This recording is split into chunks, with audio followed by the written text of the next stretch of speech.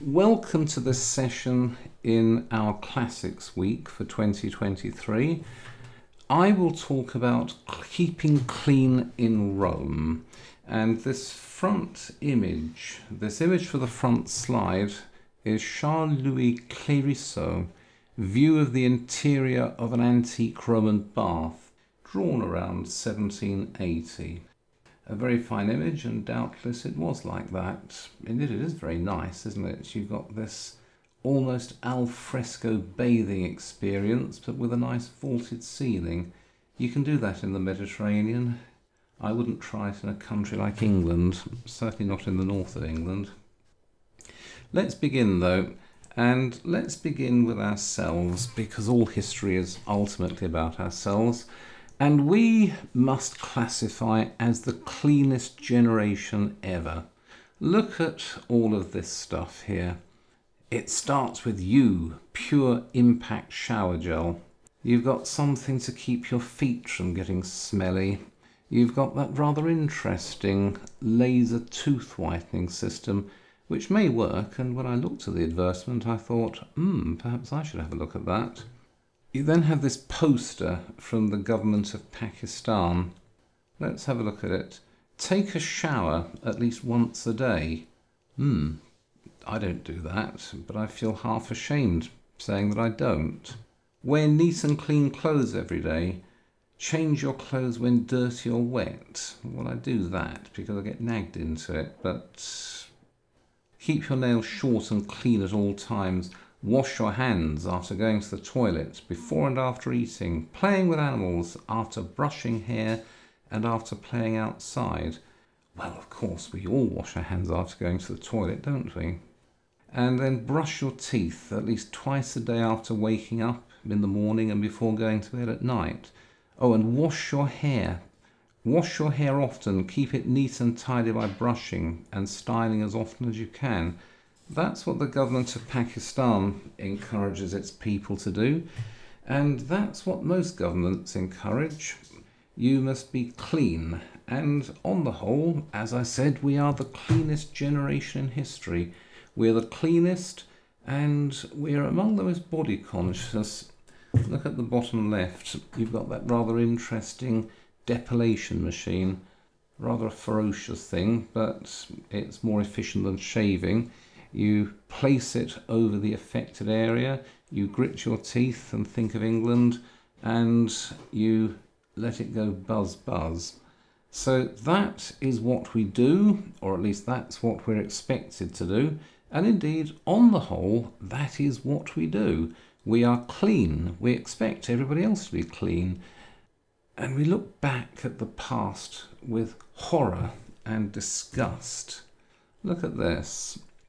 There's a fine picture from the 17th century, a Dutch painting. An old woman at a window emptying a chamber pot. That's how it was.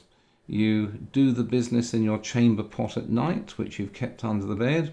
In the morning, you, or if you're lucky, one of your servants, will get rid of the contents, which means opening a window, leaning out, and perhaps hoping that you don't hit somebody passing by underneath. That was life in European cities in the 17th century. And here's a nice little article from the Morning Chronicle from the 9th of February 1778 talking about problems arising from the burial of the poor in the London graveyards.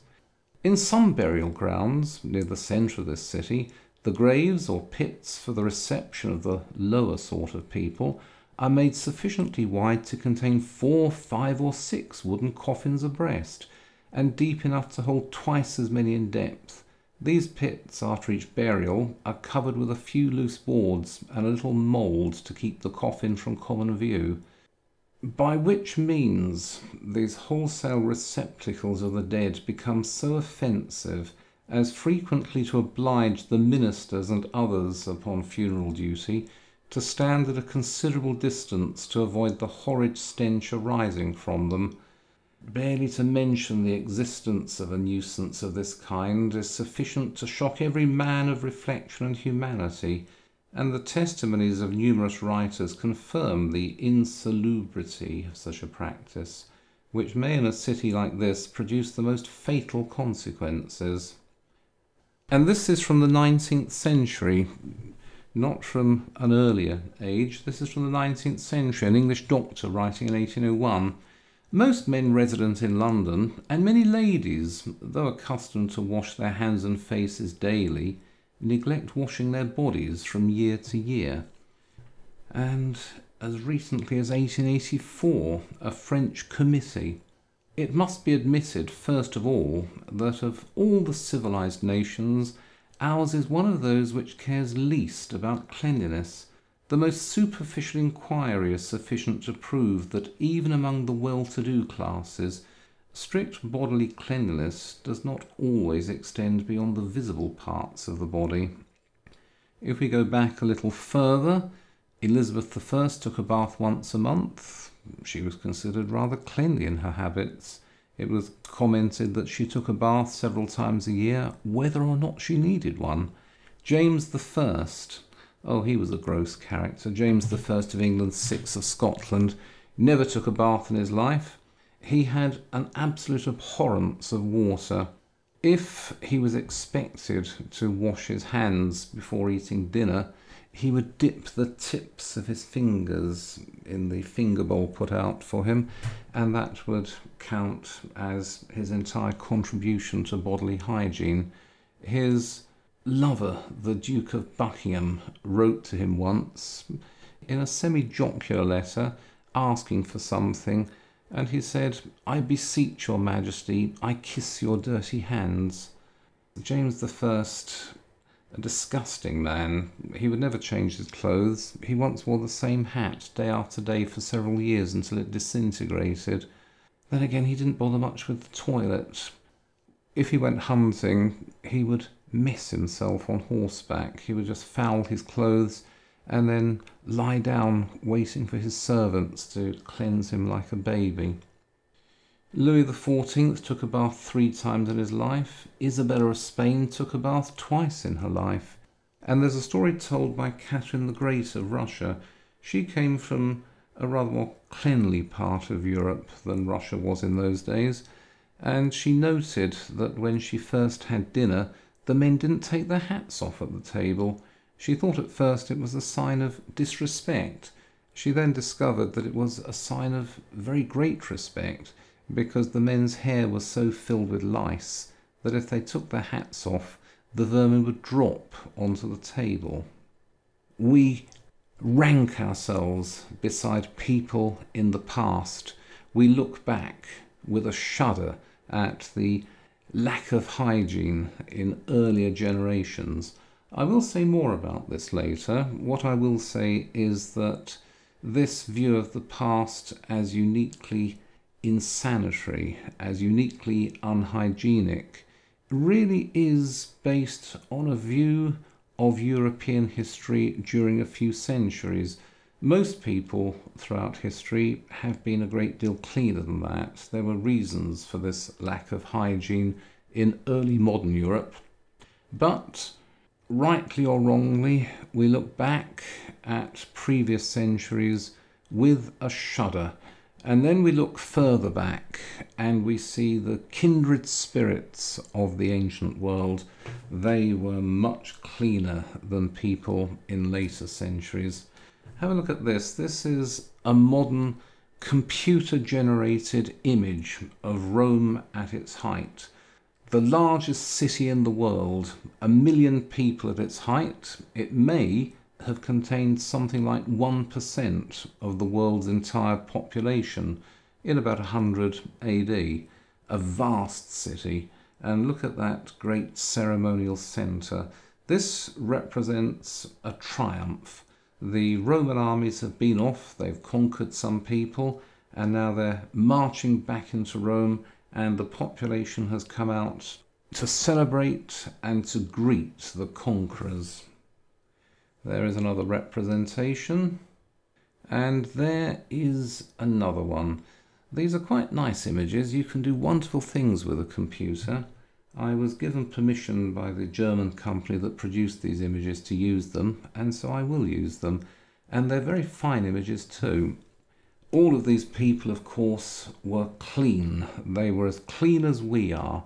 And if they're not quite as clean as we are, that's because they hadn't been got at yet by Colgate and Palmolive and all the other soap and tooth powder and toothpaste companies but these people were clean in ways that people in the disgusting early modern period of Europe were not. You could go into those crowds and you didn't need to clamp a handkerchief soaked in perfume over your face to avoid the unpleasant bodily smells of the people standing beside you. And on the whole, that is an entirely correct view of matters, but there is another side to Roman cleanliness and I will discuss that.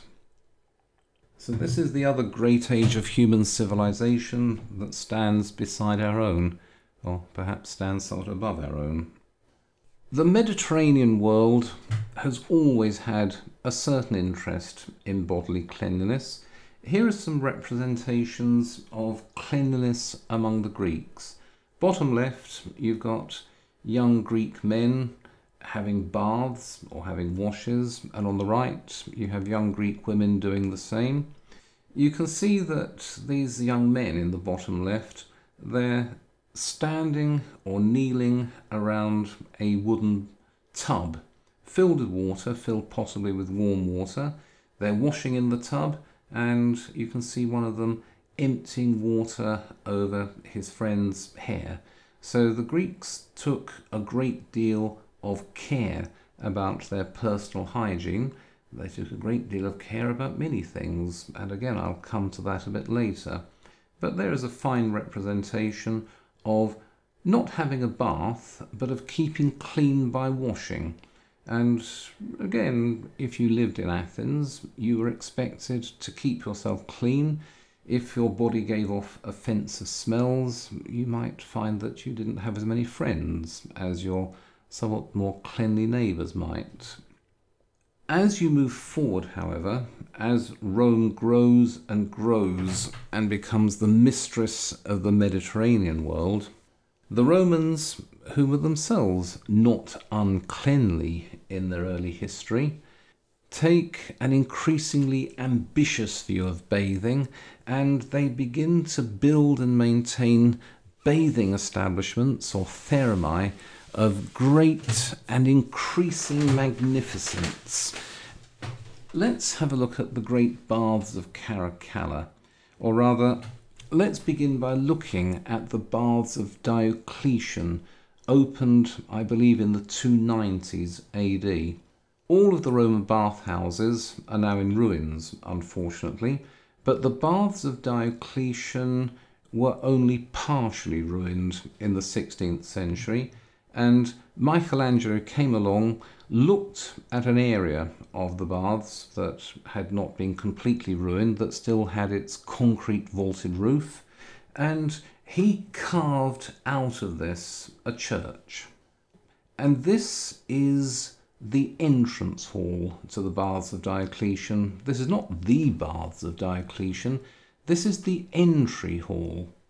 I believe well, I'm sure I have not the slightest doubt that that concrete vaulted roof is original to the Baths of Diocletian.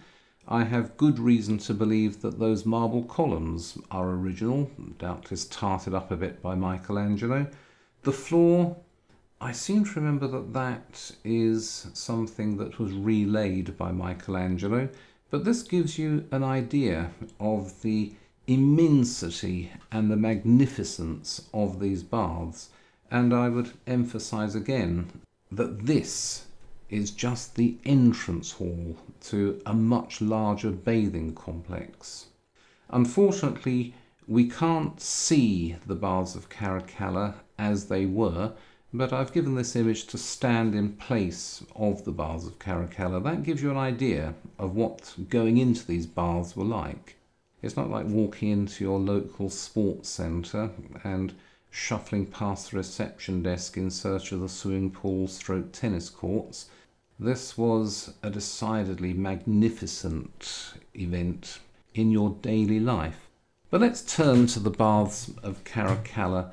These were completed in or around 235 AD. The baths fill up an area of 300 acres. There are 6.9 million bricks, 252 interior columns, the height of the baths at their highest point, 100 feet, and the area of the main bathing complex, 1100 by 1050 feet. And although the baths were plundered at various times for building materials, seems to have taken up 222,500 cubic feet of marble and granite to line the walls.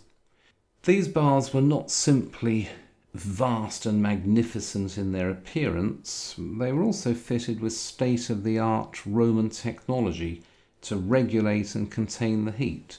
They were fitted with glass windows, southwest facing glass windows, so that not so much money needed to be spent on heating the water, instead, the heat would be retained. These baths contained a promenade terrace, two large fountains, they contained a waterfall, there were libraries, there were shops, there were restaurants, there were, well, there was a brothel there as well, if that took your inclination. Everything that a civilized person or perhaps a not so civilized person could possibly want, you would get in those baths. The water, that was supplied by two aqueducts, and the water was stored in 18 lead cisterns, heated by 50 furnaces, burning about 10 tons of wood every day. And these baths were able to accommodate 8,000 people each day, or 1,500 people at a time. We're not entirely sure how many people they could accommodate, but they could take in large numbers of people. Depends, of course, how long you wanted to stay there. If you wanted to come in for a quick bath, you could be done in half an hour, maybe an hour, but most people would go there after lunch and it would be a social occasion. You'd go to the baths as soon as work stopped, around three o'clock in the afternoon, and you'd stay there, lolling in the pool until a gong was sounded telling you it's time to go home. So these are the Roman baths. You cannot just build these baths in isolation. There's no point saying this is a large city, this is London in 1750. Let's clean people up. Oh, I know what. Let's build a copy of the Baths of Caracalla in Spitalfields or something. You can't do that because this kind of bathing complex, and there were many of these in Rome, this kind of bathing complex requires a great deal of infrastructure, which itself may take several centuries to put in place. Let's have a look at the routine of bathing. I said you could have a bath in half an hour. You might take an hour, or you might decide to, what did I say? You might decide to loll in one of the pools for several hours until closing time. And baths generally had this kind of layout. You had the apodyterium, which was a changing room. There were no lockers in the changing rooms because, well, there were no lockers. What you had was open niches. You would put your clothes in there, your clothes, your sandals. You would take off your fine outgoing clothes. And then, if you were wealthy enough, you would have a slave who would sit there talking with other slaves and he would protect your clothes from thieves. From the apodyterium, you'd proceed to the caldarium, a hot room, rather like a Turkish bath, a steam room. You would go into the steam room or you'd go into the hot room and you'd bake there for a while and you'd sweat and your pores would open and all the dirt under your skin would come out or at least be revealed to further inspection and attention. You would then jump into a tub of very hot water it was possible to make the water too hot, and there are stories of people who accidentally drowned in the hot tubs or people who were murdered by being put into overheated baths. Indeed, the Emperor Constantine, the one who established Christianity, murdered one of his wives by shutting her into her own private baths and telling the furnace people, stoke that boiler up. She was baked to death in her own baths. However, we can assume that if you went into the caldarium, you would come out alive. From the caldarium, you'd move to the tepidarium, the warm room, and you'd sit there for a while, acclimatizing yourself to the next stage of your bathing experience. The last stage would be the frigidarium, the cold pool to finish the bath by closing your pores. It was a cold pool purely relative to the other pools in the baths. It wouldn't be that cold. It might actually be warmer than the swimming pools to which we're accustomed. And that would be your bath. There was no reason why you had to go in that order. You'd have to start and finish in the apodyterium, of course. You would need to take your clothes off and put them on again. But which of the other three stages you took first was purely a matter of preference. But this seems to have been the average order in which people took their baths. No soap. Soap was available in the ancient world. It was rather a strong substance, best used for washing clothes. Instead of soap, you would use olive oil. You would take yourself into the caldarium, into the hot room. You would sweat all over. You would rub yourself with olive oil and then you would scrape the olive oil off. With the olive oil, you would also scrape off all the sweat and dirt from your body, and once you'd scraped all that off, you would proceed to perhaps to the frigidarium to finish washing off the oil and to close your pores. That was the Roman experience of having a bath. And you could spend half the day in a bath. If you wanted to, you could spend the whole day in a bath. And you could do that every day if that took your inclination. Here's a long description of living near to a Roman bath, written by Seneca the Younger. It is somewhat exaggerated, but this is about as good a description of the Roman bathing experience as we're likely to get. If you want to study, quiet is not nearly as necessary as you might think. Here I am, surrounded by all kinds of noise. You see, my lodgings overlook a bathhouse. Conjure up in your imagination all the sounds that make one hate one's ears. I hear the grunts of muscle men exercising and jerking those heavy weights around. They're working hard, or pretending to. I hear their sharp hissing when they release their pent breath. If there happens to be a lazy fellow content with a simple massage, I hear the slap of hand on shoulder.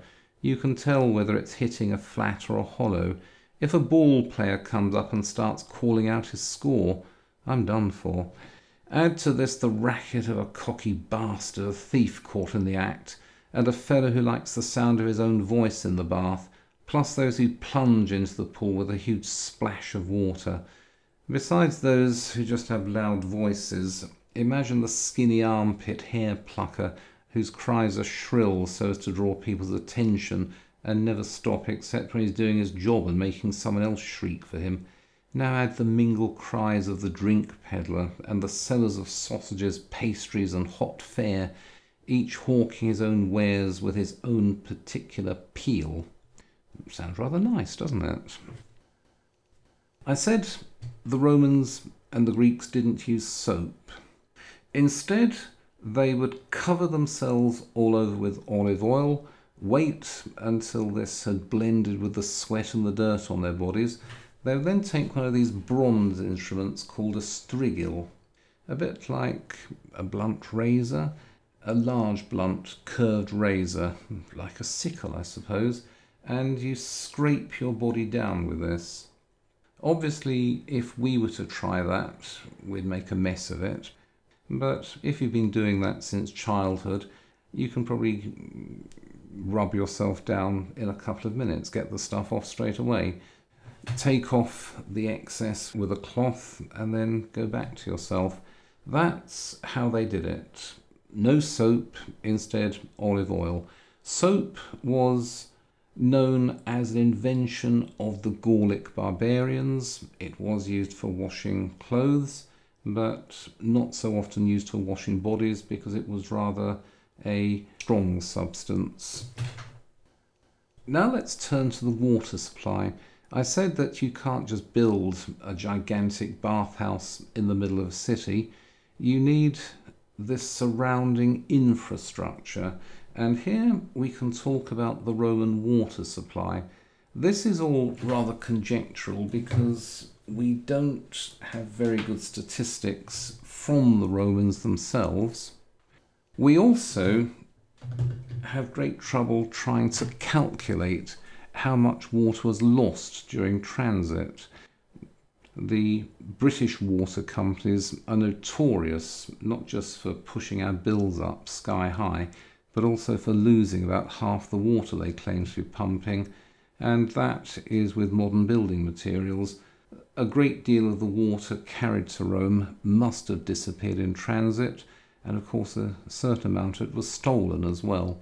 But what we can say is that between about 300 BC and about 1 AD, the Roman population grew from about 50,000 to about 700,000 people. It may eventually have gone past a million. We're not quite sure of the population. There are estimates for the Roman population between about 300,000 and 1.5 million. I think 300,000 is a bit on the low side, and 1.5 million may be pushing it, but 700,000 to a million sounds reasonable. Again, the statistics that we have from the ancient world are generally worthless. If a Greek or a Roman wanted to talk about the population of a city like Rome, he would pull a figure out of his head. This sounds a good one 10 million people.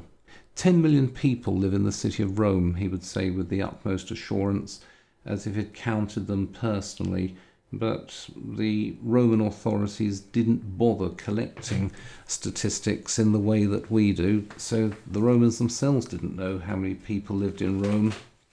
We've worked out these statistics largely by looking at Chinese and Indian cities around 1900 before they were fitted with modern sewage systems and looking at the density of population other than that, we have a number of measurements the French government made of Paris in 1800. The French government very carefully counted the number of people in Paris. Because we know how big Paris was at the time, we can work out the number of people living within a certain number of square feet, and we can apply that to Rome with a bit of squinting, with a lot of squinting. But it was a very big population, and the local water supply was very soon inadequate to maintain that kind of population. Also, the main source of the main local source of water for Rome would be the River Tiber, and you can imagine that the Tiber would be rather smelly, rather polluted from all the sewage pumped into it or all the sewage dropped into it, just as the Thames was notoriously a filthy river well into the 19th century until Bazalgette oversaw the building of that wonderful sewage system in the 1860s.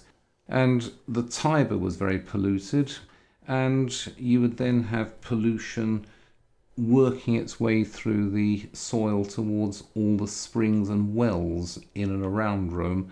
So, as the population grew, the local water supplies were inadequate to maintain a population of that size and also far too polluted. It was hmm. therefore necessary to bring large amounts of water in from far outside Rome. There is what we all recognise in the bottom left. There's an aqueduct, the Pont du Gard in France. The Romans built those all over the empire, and there were 11 of those serving Rome itself. Some of them were still working in the late 19th century. There was one which never went completely out of operation.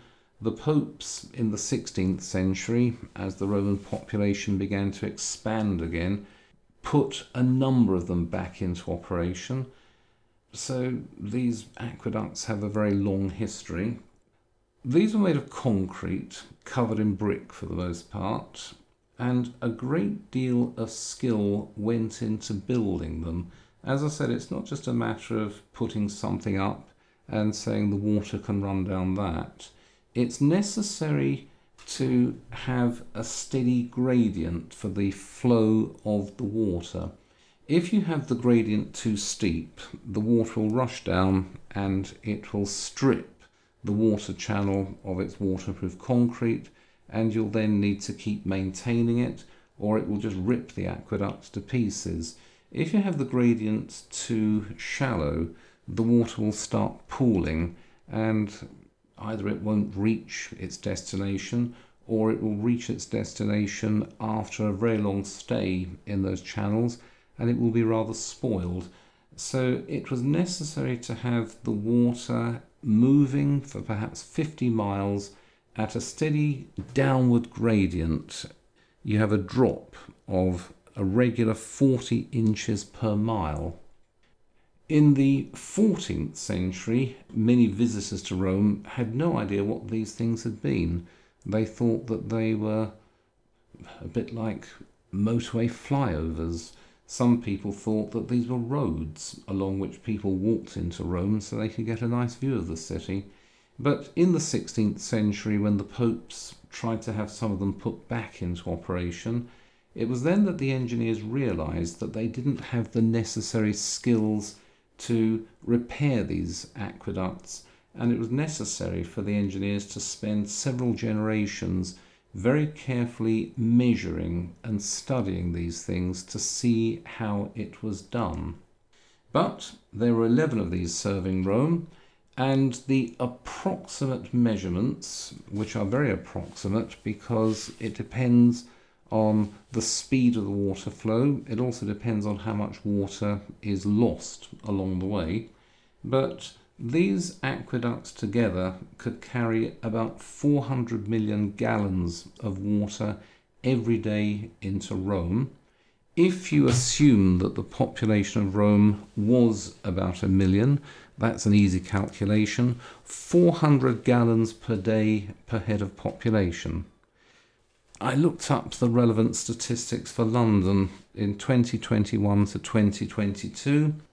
The per capita consumption of water, that doesn't mean the amount of water supplied per head, but the per capita consumption of water in London last year was something like 31 gallons per day. I'm not comparing like with like. When I'm talking about 400 gallons per day per head in Rome, I'm talking about the amount of water available per head of population. If I'm talking about London last year, I'm talking about the amount of water consumed on average. But even so, you can see a considerable difference between the amount of water available for the Roman population and the amount of water available for the population of modern London. And in London, I don't think people are particularly sparing in their use of water, are they? Once the water had arrived in Rome, it was then distributed. It was divided roughly three ways. You've got water fed by pipes into the palaces of the rich and powerful, and the rich and powerful had plenty of water. You had about a third sent off to various industrial and agricultural purposes, and there was a great deal of market gardening around Rome and also inside the city. The city walls didn't just enclose a built up area, there was always a great deal of agricultural land inside the city. The water came in very handy for that. The industrial uses, well, leather production, anything industrial needs water, doesn't it? So about a third of the water went off to those purposes. And then about a third went off to the fountains and the baths. Look at the image on the right. We mustn't assume that the Roman water supply was entirely a matter of aqueducts. Aqueducts are tremendously expensive to build and they're expensive to maintain. They were built where they were built. The reason the, the Pont du Gard was built was to carry the water across a valley. Mostly the water would come to Rome through canals.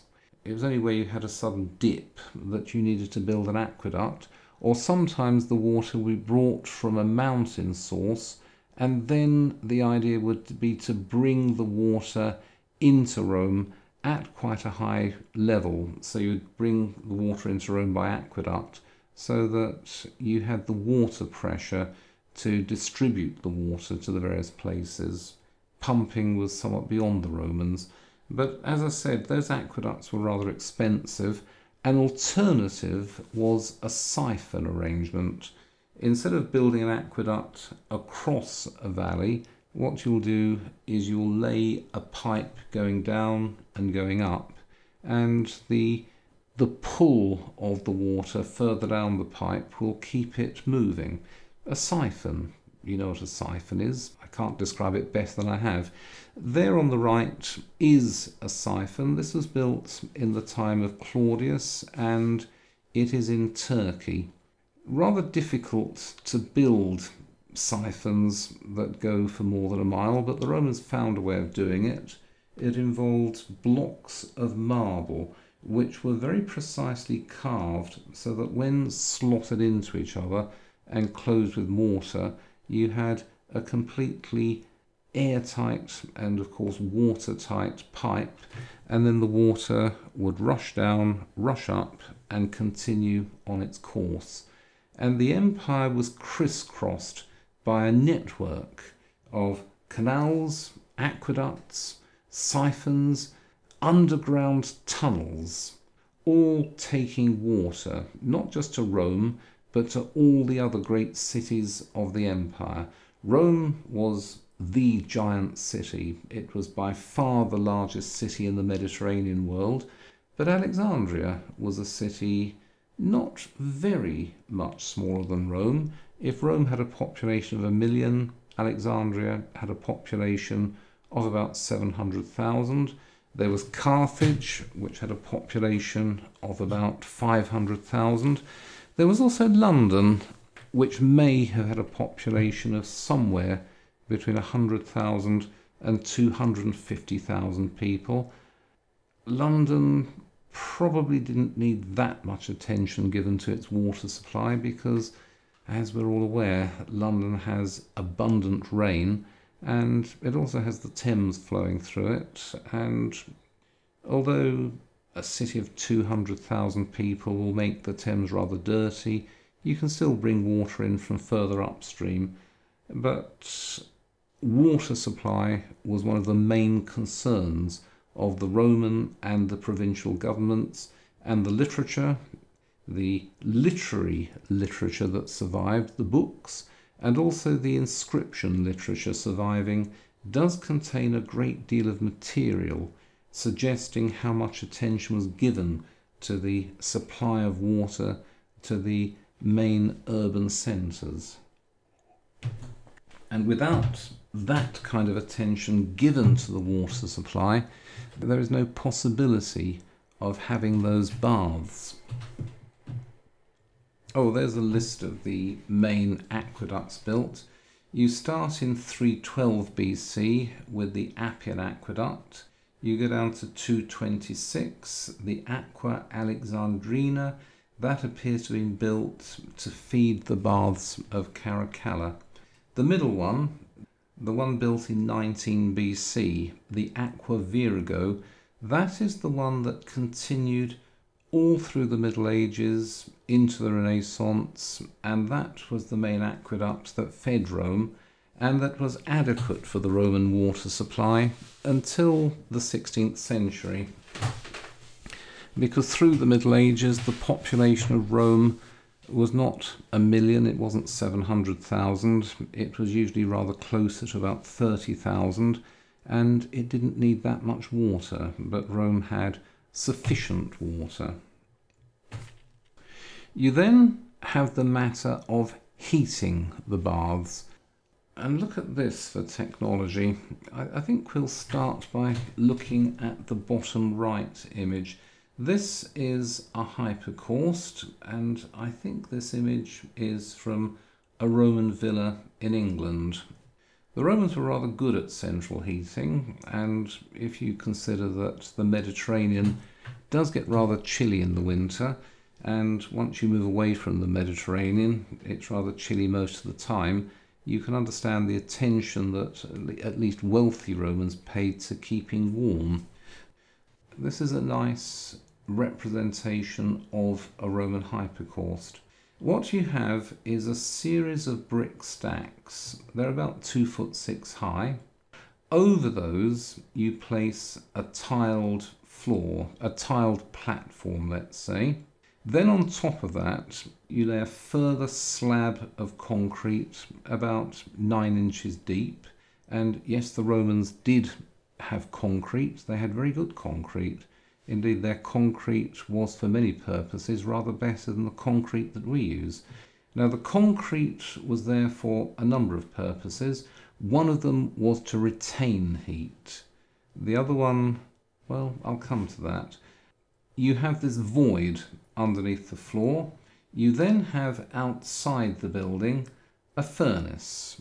And if you turn your attention to the top slide, which is defective in the functional sense, but it's useful for something, if you turn to the top slide, you can see a furnace, you can see a slave who is continually feeding this furnace with wood, sometimes with logs, but I believe that mostly the furnace was kept going with what we would regard as twigs.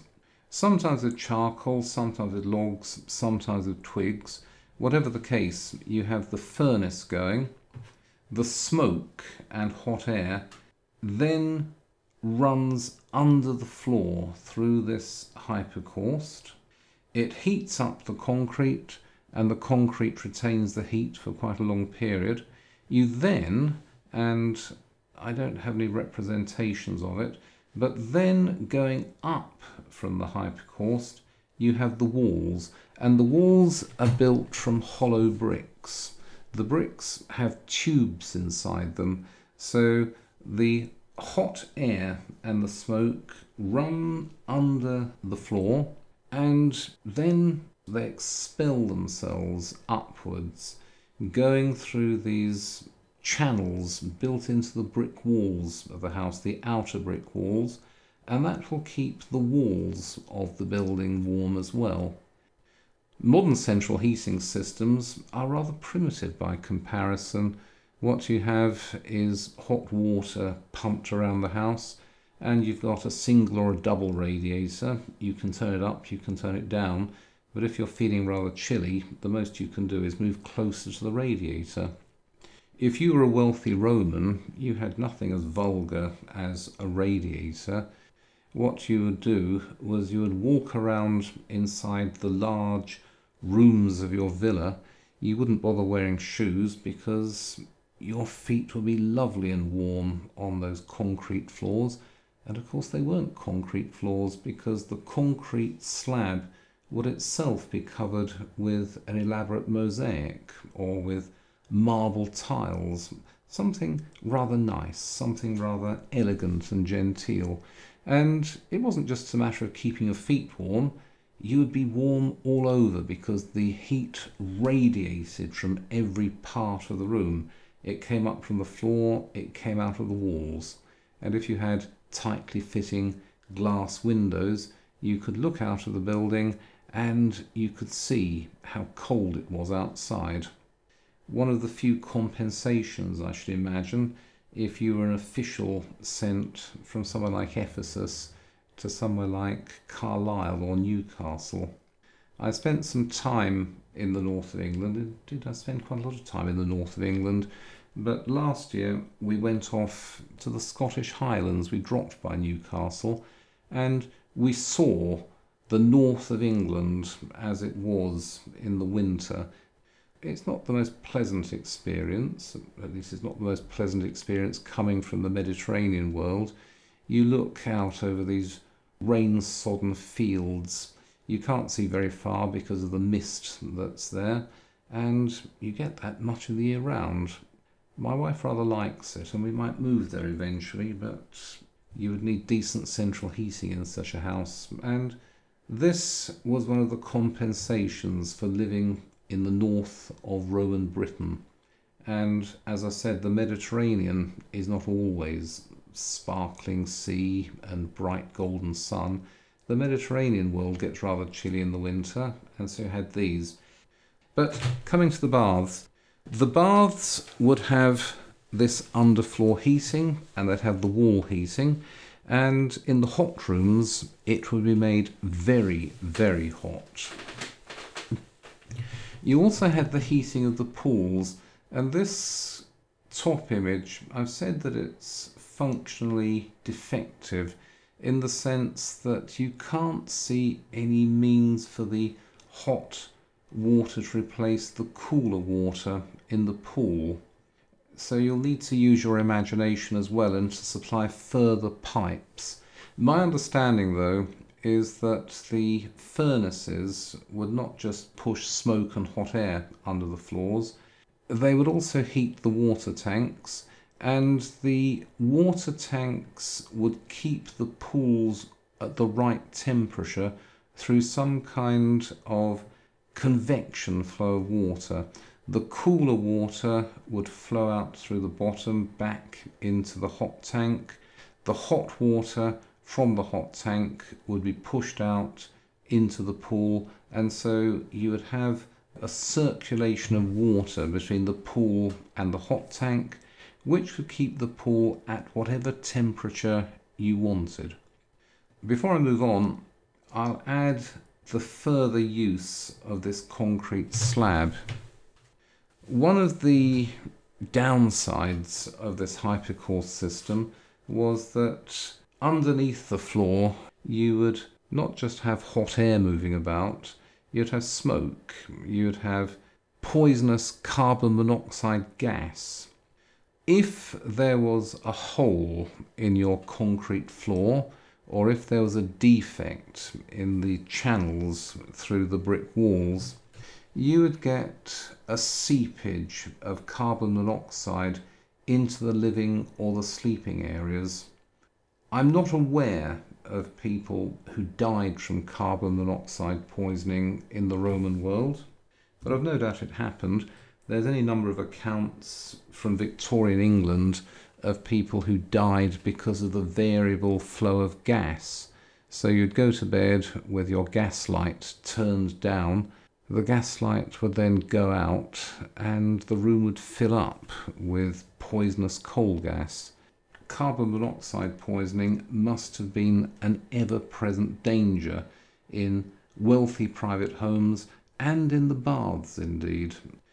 Not the safest way of heating water and air, but it did keep the baths nicely warm.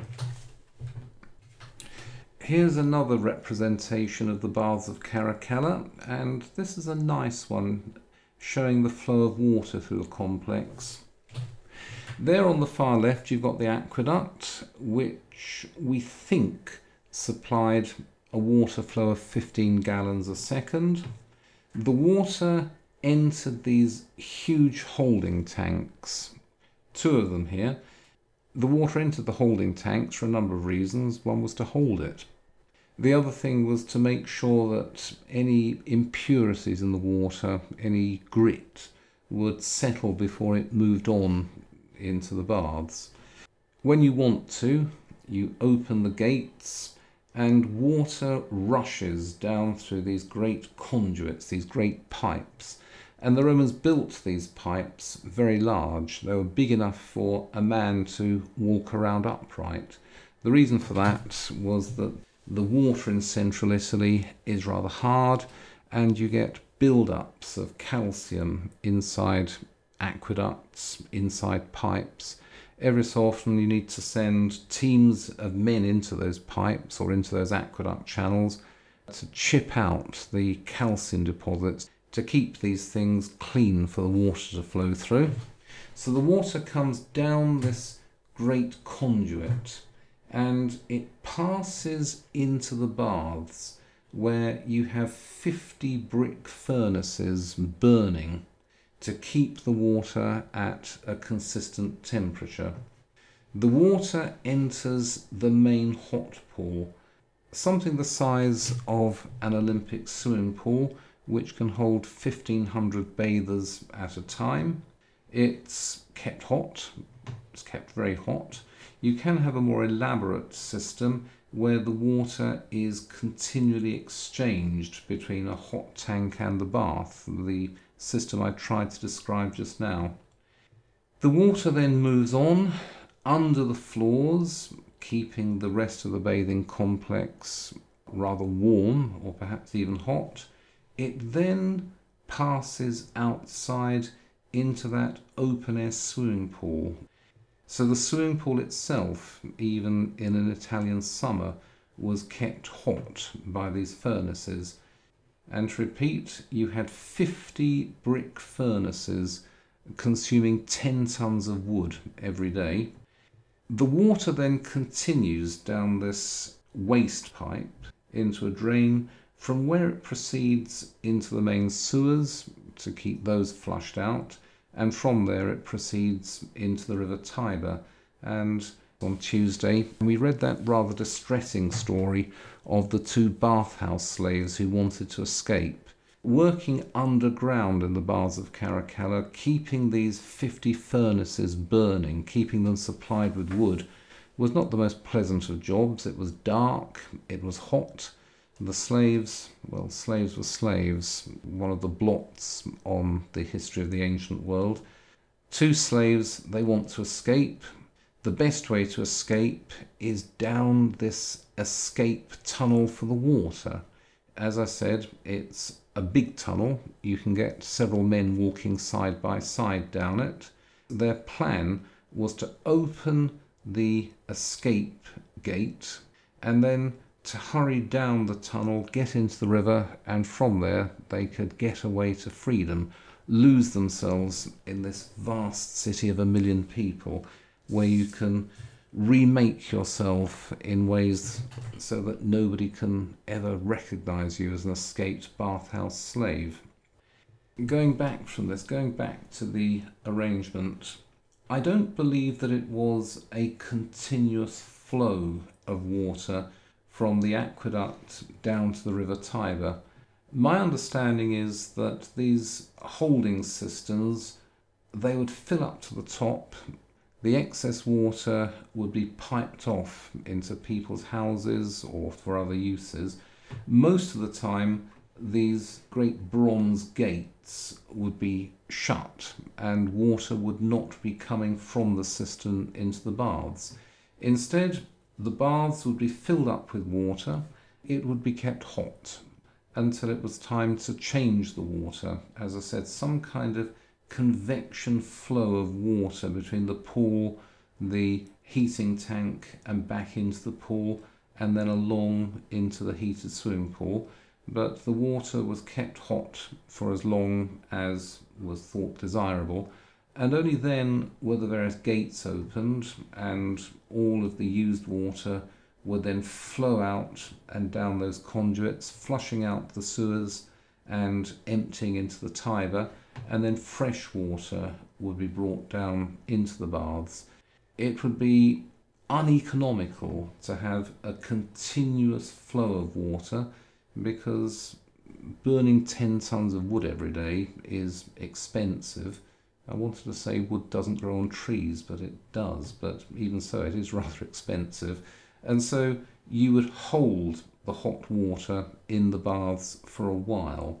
And I will come back to that because there is much more to be said about these baths, much more to be said. So that is an approximate diagrammatic representation of the baths of Caracalla, the largest of all the Roman bathing complexes. Oh, before I move on, two miles of tunnels underneath. I don't know what these tunnels are used for. Obviously, there'd be storage rooms for wood and for other things, but it again, it wasn't just a building with some depressions filled with water. People jump into the water, have their bath, and go away again. It involved a great deal of very clever technology, which we are even now still rediscovering. Let's look at the organisation of these baths. And oh, there's an Alma Tadema painting.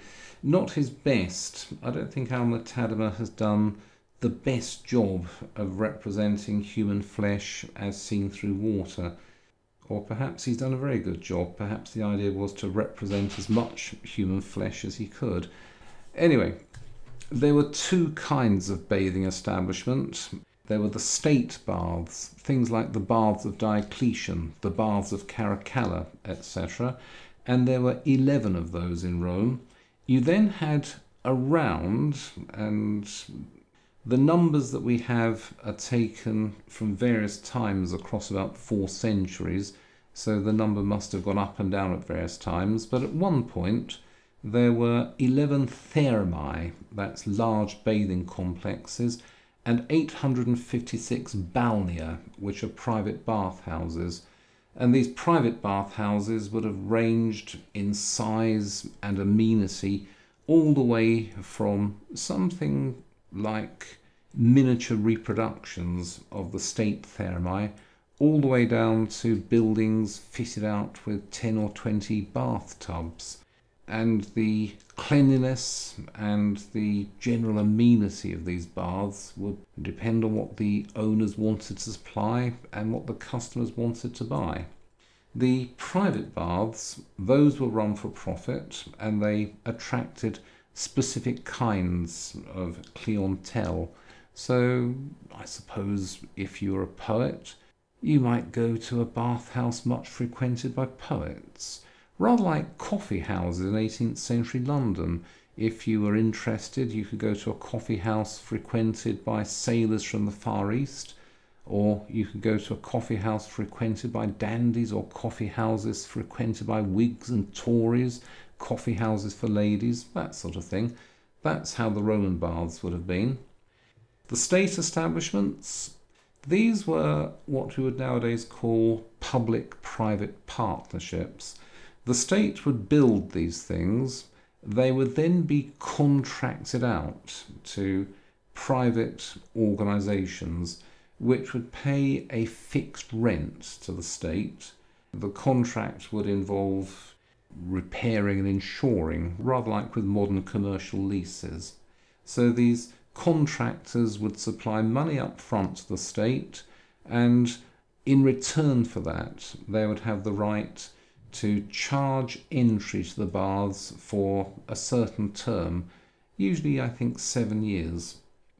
The standard charging to get into those baths was very small. It was usually the smallest circulating coin.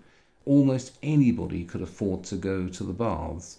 If you were a day labourer in Rome, you and your family would not be able to go to the baths every day and spend hours wallowing in one of those pools. You would certainly be able to go once a week. So everybody had the opportunity to be clean at least once a week, and let's face it, that is clean most of the time, isn't it? The baths would open at noon and then they would continue until dusk, the opening and closing indicated by a gong. If you were a rich man and you wanted to court favour with the people, you would go to one of the contractors and you'd supply the contractor with a sum of money and then the baths would be thrown open to all comers for free. No doubt there'd be big notices put up.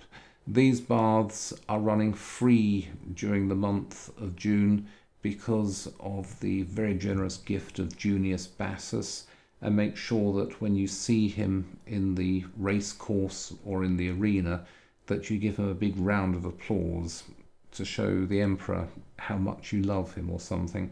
But rich people would often stand in as benefactors to the public by paying for the baths to be thrown open to the people free of charge. And as I said, there were so many bathhouses, not just in Rome, there were so many bathhouses in all the cities of the empire, and entrance was usually so cheap and was often free that everybody had the opportunity to go once a week, twice a week, several times a month, whatever, and to take advantage of those baths. So it's not the case that these were the preserve of the upper classes. They were certainly not. They were open to all. Indeed, the baths were not just places where you went to get clean, they were part of your daily life. And it was here that you would often mix with the lower classes. Let's have a look at some of these descriptions which are taken from the various lives of the emperors.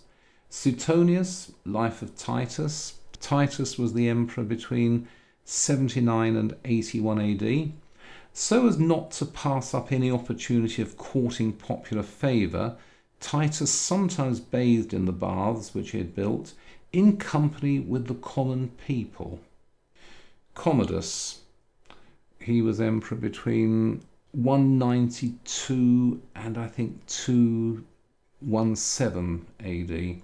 Commodus used to bathe seven and eight times a day and was in the habit of eating while in the baths. You then have this rather strange story of the Emperor Hadrian, 117 to 138 AD. Hadrian often bathed in the public baths, even with the meanest crowd, and a jest of his made in the bath became famous, for on a certain occasion, seeing a veteran whom he had known in the service, rubbing his back and the rest of his body against the wall, he asked him why he had the marble rub him, and when the man replied that it was because he did not own a slave, the emperor presented him with some slaves and the cost of their maintenance. But another time, when he saw a number of old men rubbing themselves against the wall for the purpose of arousing the equal generosity of the emperor, he ordered them to be called out and then to rub one another in turn. There it is. The baths are a place of popular resort where the upper and the lower classes will mingle on terms of reasonable equality, not complete equality, but reasonable equality. Then we have this story from Commodus, emperor from 180 to 191. Rather unpleasant man. For when it happened that his bath was drawn too cool, Commodus ordered the bath keeper to be cast into the furnace, whereupon the slave who had been ordered to do this burned a sheepskin in the furnace in order to make him believe by the stench of the vapour that the punishment had been carried out. That's an interesting story. It tells you something about the movement of air between the furnaces and the bathing areas, so perhaps it was not always completely safe. But that will do for social bathing. Mixed bathing that's something that always arouses a certain frisson in the modern world.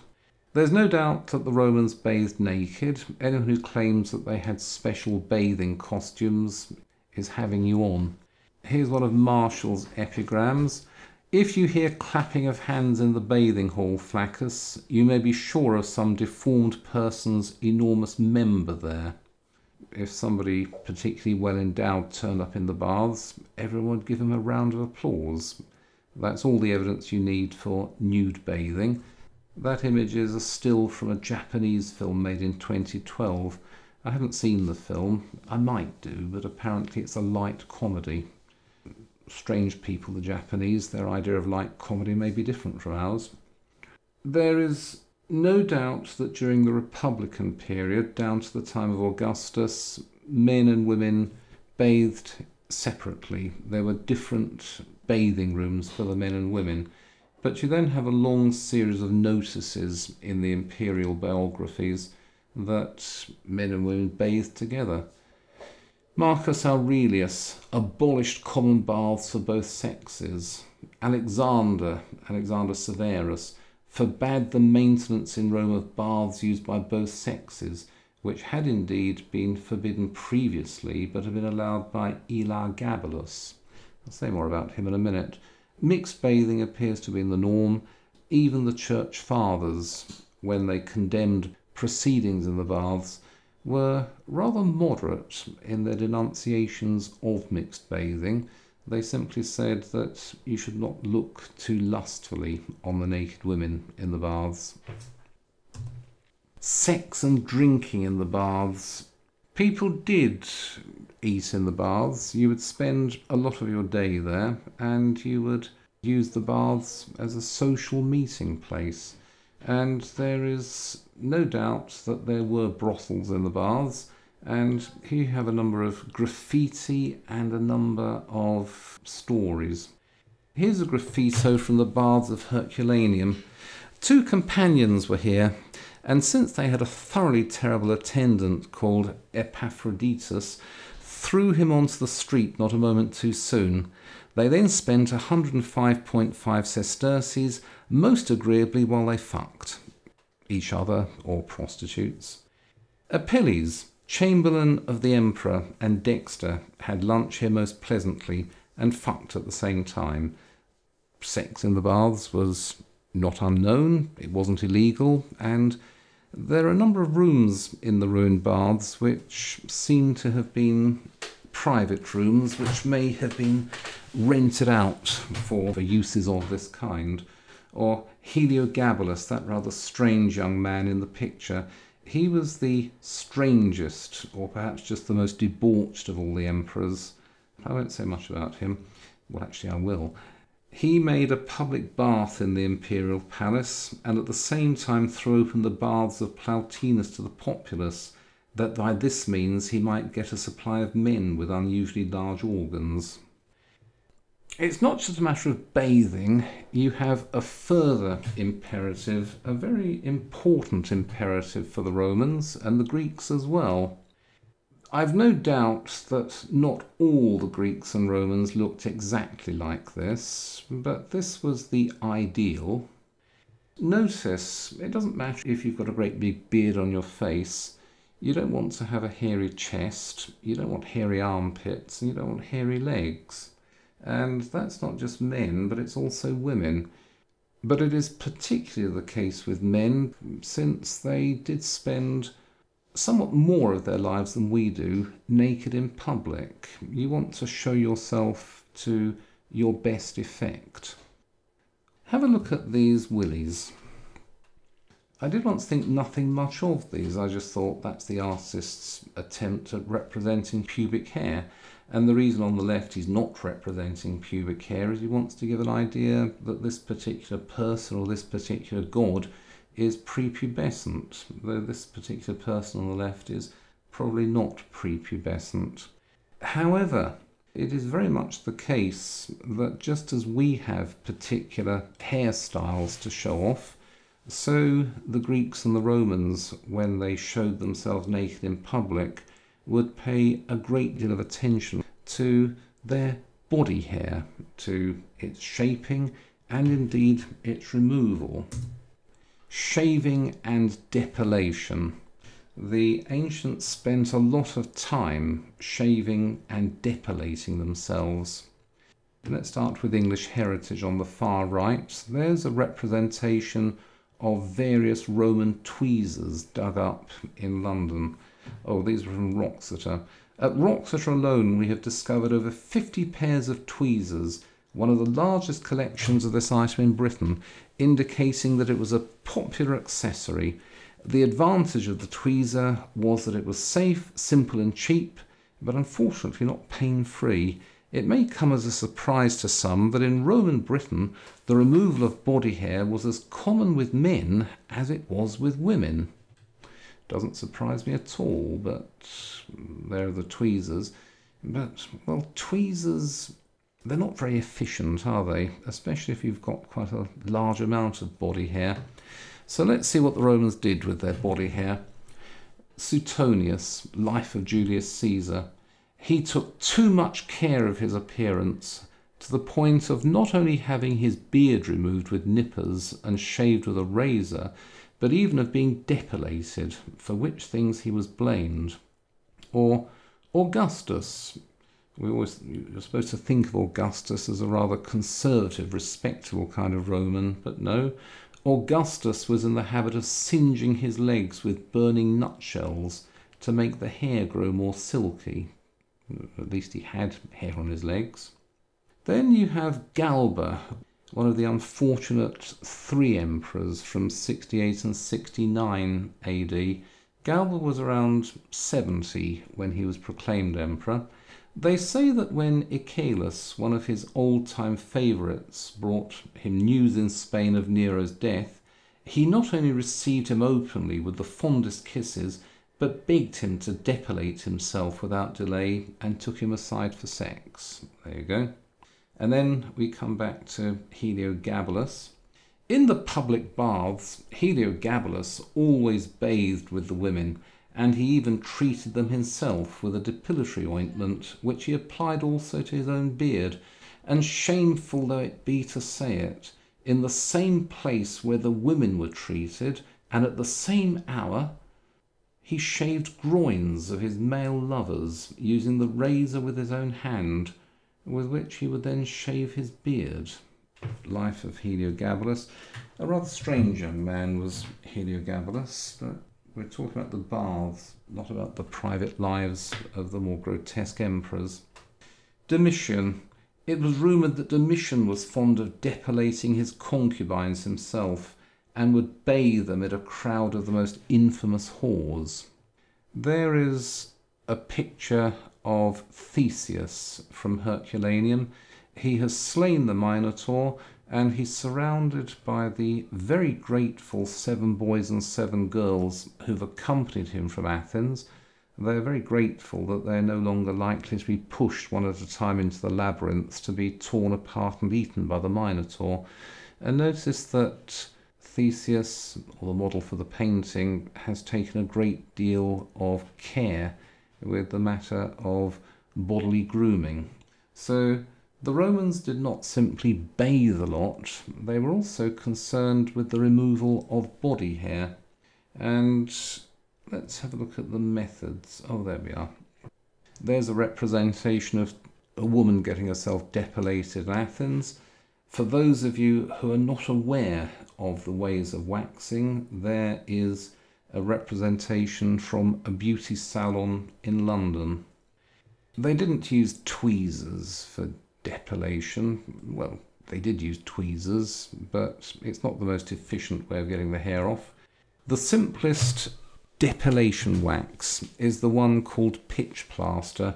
Dry pitch is diluted with oil. It is applied hot to the skin, which must first be cleanly shaved under which circumstances it appears closely.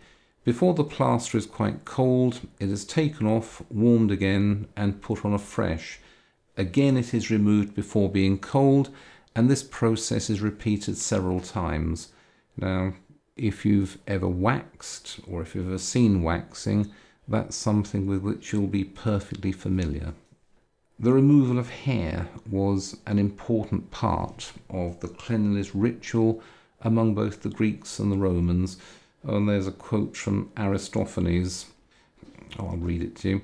If we were to go naked with a smooth pubis, our husbands' cocks would stand, and they would be desperate to have us. Something said on the Athenian stage to a thoroughly delighted crowd, probably rolling in the aisles. Now, what did the Christians think of bathing? Bear in mind that bathing was generally in the nude, and bear in mind that it was mixed bathing, and bearing in mind that all sorts of other things went on in the baths as well, you would expect that the church fathers would not have been entirely friendly to the custom of bathing. And not all of them were. Clement of Alexandria, second century, the baths are open promiscuously to men and women and there they strip for licentious indulgence, for from looking men get to loving, as if their modesty had been washed away in the bath. And St. Jerome, the man who translated the Bible into Latin, is your skin rough and scaly because you no longer bathe? He that is once washed in Christ needs not to wash again. But although there were Christians who were hostile to public bathing, they seem to have been the minority. Most Christians seem to have carried on much the same as before their conversion, and going to the baths was a daily ritual so ingrained in the life of the Mediterranean that it would have been very unusual for them to stop going. Indeed, here we have mention of a Bishop Sisinnius. He was also accustomed to indulge himself by wearing white garments and bathing twice a day in the public baths. And when some asked him why he, a bishop, bathed himself twice a day, he replied, Because it is inconvenient to bathe three times. You have St. John Chrysostom giving one of his sermons in Constantinople, in which he says, as an aside, that there's nothing at all unusual to see monks and bishops and priests and nuns walking around stark naked in the public baths. Nothing wrong with that at all. Indeed, it reminds us of the fact that we're born naked, and if we put on fine clothes, if we're rich enough, under those clothes we're all equal. So you have mixed views of bathing among the Christians most of them appear to have carried on bathing in exactly the same way as the pagans, probably not going to the brothels afterwards, at least one might hope so, but bathing in exactly the same way, strip off naked, run around in the baths, and go home clean. Then you have the more ascetic Christians. Oh, there's a representation on the right of St. Simeon Stylites he lived for 37 years on top of a 40 foot column, every so often shouting down advice and predictions to people who came to hear what he had to say to them. I don't believe he washed very often. Indeed, I'm told that he once stood on one leg for several months, and when his leg turned a bit gangrenous from the lack of motion, he told his disciple Anthony to put the maggots that dropped out of his wounds back into his flesh because God had placed them there and they should not be denied the sustenance they had been promised. So you have a mixed view of bathing among the Christians. Most of them, I would emphasize, carried on bathing exactly as before because no one felt any sense of shame at bathing naked even in front of members of the opposite sex. Oh, there's a home bath. Not many of those, so I won't say much about that. Let's look at the toilets now. Here's some statistics. The average person excretes four ounces of solids per day, so I'm told. I'm sure some people do more than that. Assume a Roman population of about a million people. That gives you £250,000 of excrement to remove from the city of Rome. Most people didn't have toilets. The wealthy had toilets, they had flush toilets, but most people used chamber pots. These were emptied into the street, and it was rather like early modern Europe in that respect. There was a large sewer system, but there was no venting, and you did have frequent explosions from accumulations of hydrogen sulfide and from methane. These toilets went into the Tiber, and you can look at the downside of the Roman toilets, but there is a Roman toilet. This is from a communal latrine at Housesteads Roman fort in the north of England the Romans felt no shame about walking round naked in the baths or in many other places, and they felt no shame about communal lavatories. I think most of us would be. We might feel a certain constraint if we walked into a toilet and found that arrangement, but as I said, in the past people were much less modest. Indeed, in Hampton Court, Henry VIII had the great house of easement built where 30 or 40 people could sit together on the lavatories, which had velvet toilet seats. So, the long history behind here. That's going to the toilet. If you're an ordinary person, There is an emperor's toilet. It's made of porphyry, a super hard kind of granite that is purple. Its use was reserved for the emperor and for members of the imperial family. Now, this was a lavatory, it was a toilet seat made for an emperor.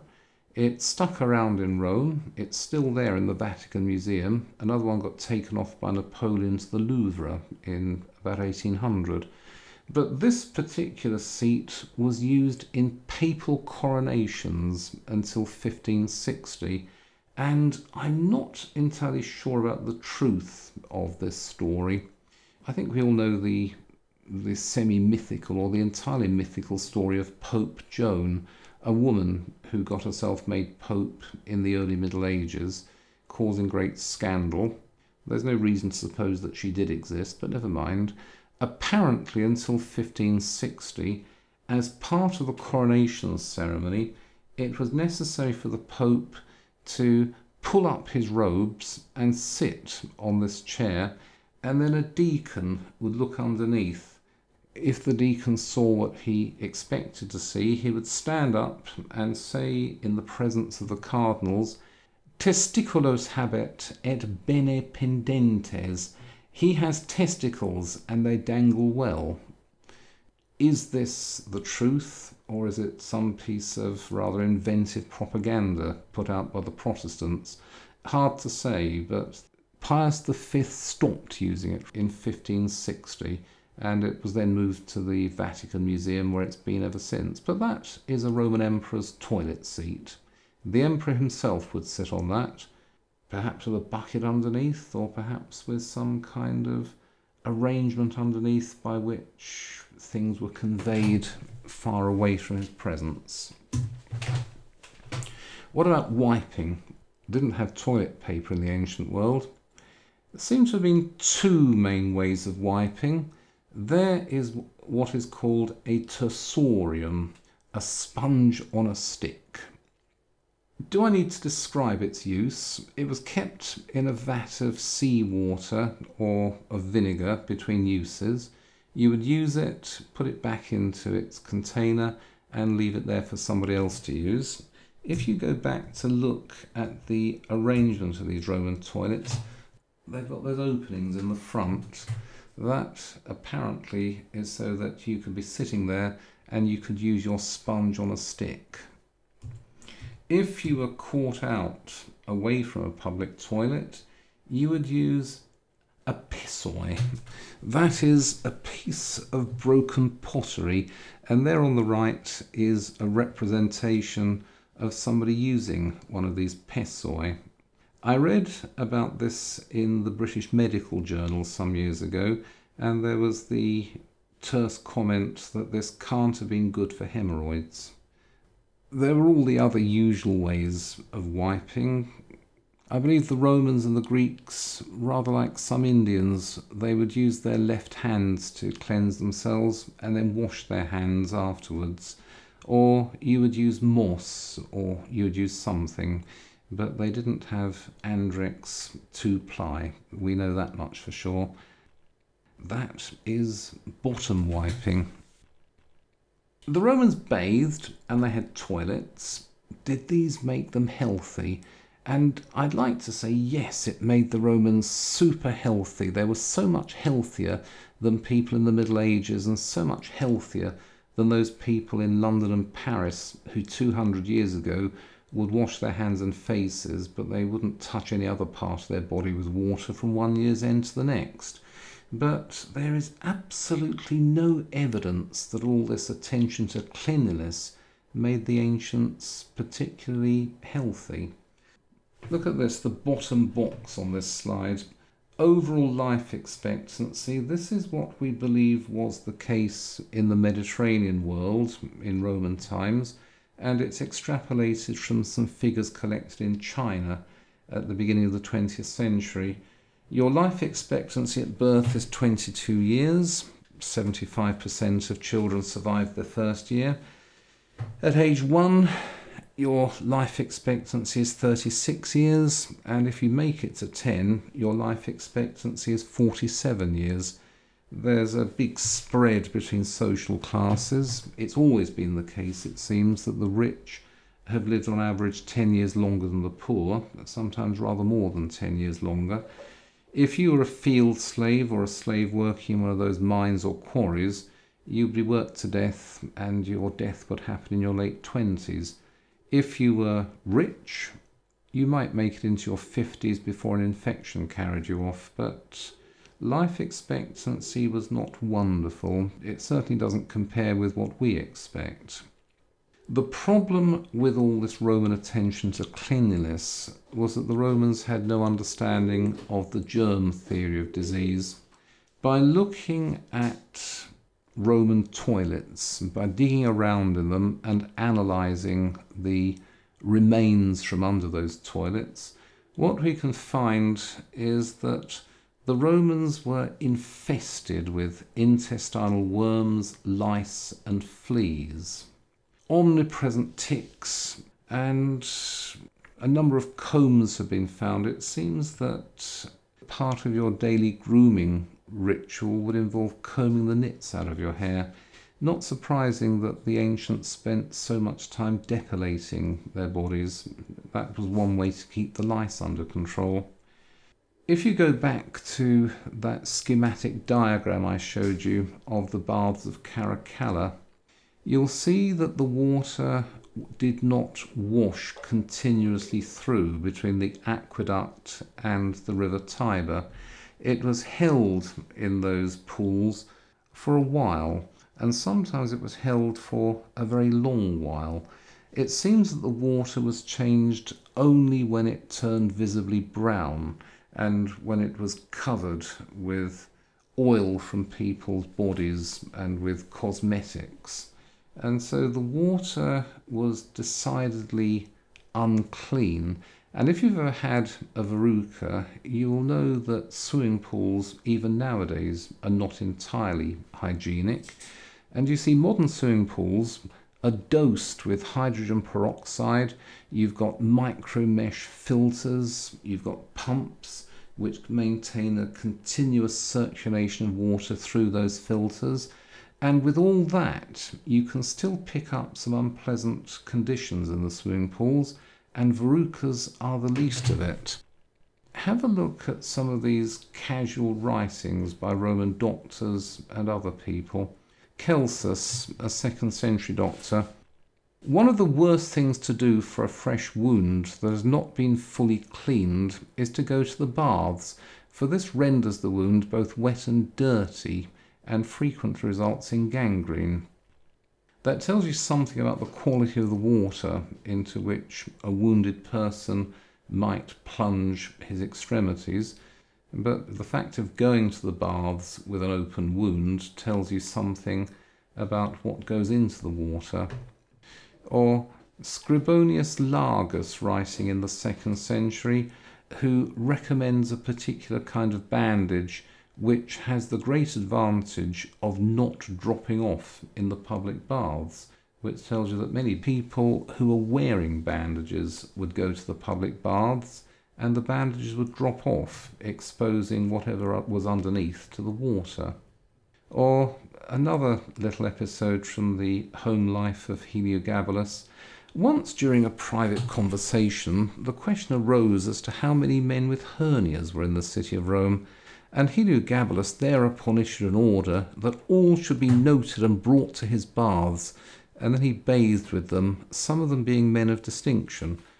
Nothing wrong with hernias, I suppose, but look at Hadrian. None but invalids were allowed by Hadrian to bathe in the public baths before the eighth hour of the day. Invalids, not just people who walk around with a limp or have a hernia, but I suppose people with great open weeping sores allowed into the baths. Then, after the eighth hour, they'd all be cleared out, and the baths would be there, ready and waiting for other people to go in. It does seem that the practice of bathing in public was a very good way of picking up all sorts of unpleasant skin diseases and all sorts of other deeply unpleasant conditions. When people began to look at the actual cleanliness of the Greeks and Romans, they were surprised, they were shocked. They were shocked because they expected that the ancients would be so much healthier than people in the Middle Ages or in early modern Europe. It turns out that quite often they were less healthy. They didn't smell as bad, they looked clean, but those baths were not places into which you or I would willingly set foot. We then come to the Middle Ages.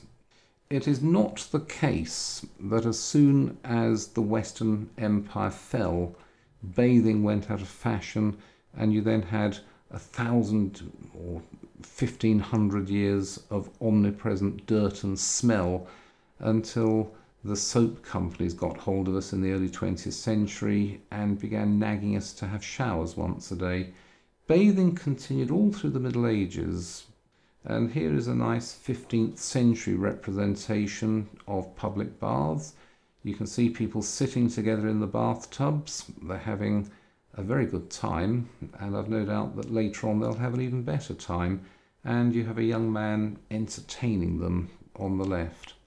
The baths continued. People were not quite as clean in the Middle Ages as in Roman times because the infrastructure of the water supply wasn't up to it.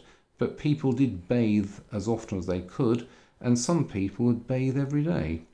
The reason we became so notoriously, so grossly filthy between about 1550 and 1850 in Europe, not elsewhere in the world, was because the doctors got it into their heads that hot water was unhealthy, and therefore the doctors recommended that people should keep away from baths, certainly from hot baths, and that they should even they shouldn't risk their health by putting too much water onto their skin. They should wash their faces and hands, and that was it. Part of the reason for this was the outbreak of syphilis. The first outbreaks of syphilis in the 1490s. This was much more virulent, it was much nastier. I won't trouble you with the descriptions of it, but it was a much nastier disease at its first onset than it later became. It was communicated through these public baths, and it was a matter of public health when in the 1520s the government of Henry VIII in England and governments all throughout Europe closed all the public baths. And then you get into the late 16th century, the 17th century, the time of Louis XIV and James I. And then we come into the late 18th, early 19th centuries where people didn't wash much. That was an episode in European history. Mostly we have tried to keep clean we haven't always tried with as much obsessiveness as our own generation does, or with the same devotion to cleanliness as the Greeks and Romans. But keeping clean to some degree has been part of the human condition for as long as we have been human beings. But although I could say much more about this, we're running out of time. But at least I think I've covered everything, and there is a bibliography. I've sent you my email address, so if you want to see these slides, I'll gladly send them out to you as a PDF. Do send me an email if you want these slides. As I said, I'll turn them to a PDF and I'll send them out pretty sharpish. Let me give you my email address. And by the way, if anybody has any questions or comments, don't hold back.